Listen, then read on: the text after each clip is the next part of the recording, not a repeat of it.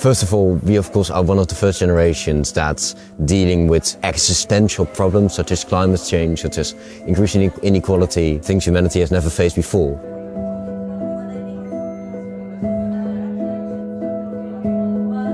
We just have to be the voice and we have to shape together the Europe that we want to live in in 10 years, in 20 years, in 30 years, you know, something that we would be proud of.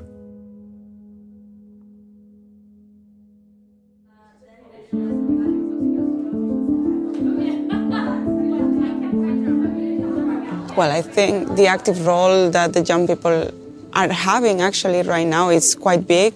We can see it, for example, with Greta Thunberg, like everything that she has achieved, like such a young age. Since I'm a, I'm a child, I'm in touch with uh, what is injustice and violence, uh, the danger that it re represents for emancipation of people and being uh, good in your life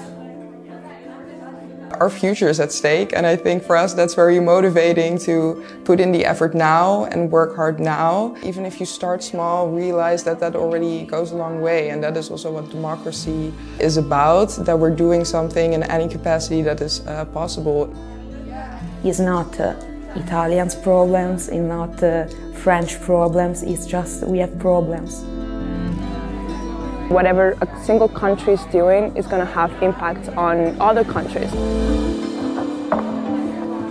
We live in the same, you know, region, but somehow our realities are different. I hope may lead in the future to a better democracy, to a better uh, rule of to better rule of laws and enlarging of rights for people everywhere it does make sense to just take a transnational approach that would include more, more citizens.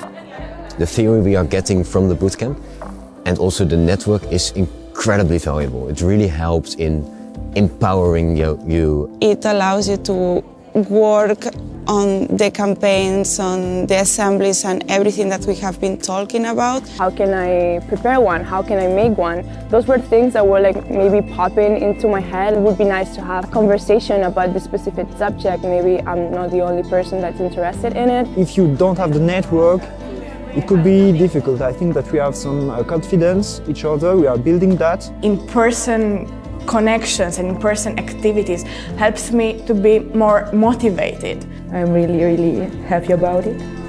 I really trust that uh, a better future may be true, that may, may be reachable.